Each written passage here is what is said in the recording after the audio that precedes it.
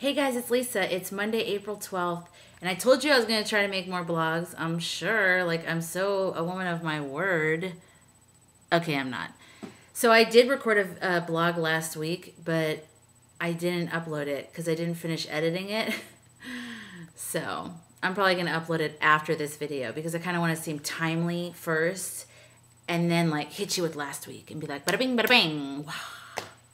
So this is just going to be quick. I'm in my new zone where I'm going to do quick blogs and then my regular monster blogs. Okay, this is a quick one.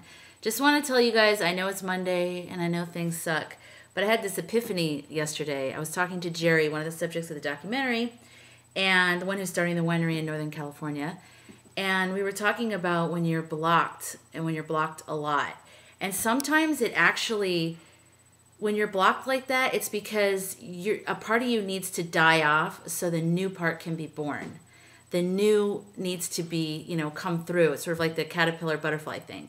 But we don't go quietly sometimes, and it takes a lot to like kill off that part. So it's like for me, I just went through this huge like total oppression and craziness, and you feel like you're dying, and then you're like, oh, I'm not dead. I'm just changing.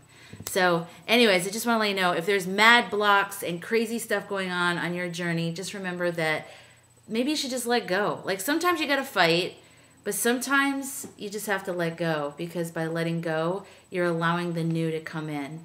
But I don't know. I think we all have to find where that line is ourselves. So sometimes you fight, fight, fight, fight, fight, and then you just let go because you can't do anything else. And then that's when the transformation happens.